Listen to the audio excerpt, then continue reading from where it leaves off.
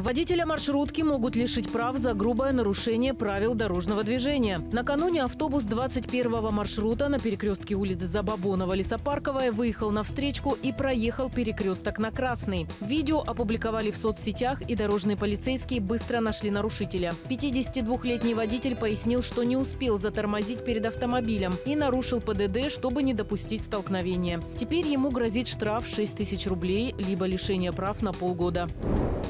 Медведя, который пытался съесть поросят в деревне Сухая Ирша, застрелили. Местные жители говорят, он никого не боялся и повадился ходить по подворьям, съедая скот. Убили хищника охотники в соседней деревне Николаевка. Там он тоже успел украсть несколько поросят.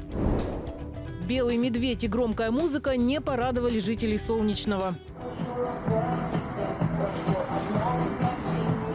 Таким необычным способом кого-то поздравили с днем рождения, как пишут в соцсетях, после 23.00, когда многие готовятся ко сну. Впрочем, другие красноярцы ничего плохого в этом не видят, ведь день рождения бывает только раз в году.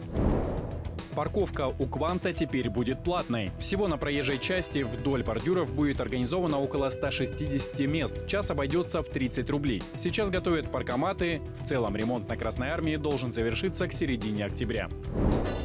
Самый большой звездопад в году можно будет наблюдать с 12 на 13 августа. На ночь, говорят астрономы, придется максимум активности метеорного потока Персеиды. В час ожидается падение до 110 метеоров. Смотреть нужно на северо-восток и желательно вдали от города, где не будет засвета.